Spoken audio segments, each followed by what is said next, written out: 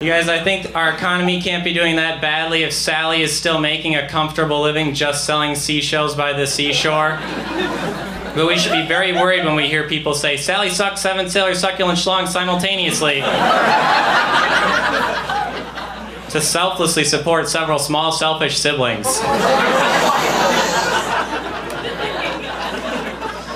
Sadly, Sally soon snagged severe syphilis from 17 sojourning seafaring Scottish sailors.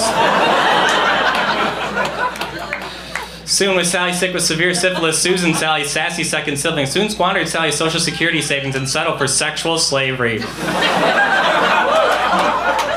Subsequently, Susan slavishly serviced and satisfied sexually sadistic senile Somali soldiers for some synthetic smack and some shelter. Silly Sally and sassy Susan should simply stick to selling seashells by the seashore. You can clap now.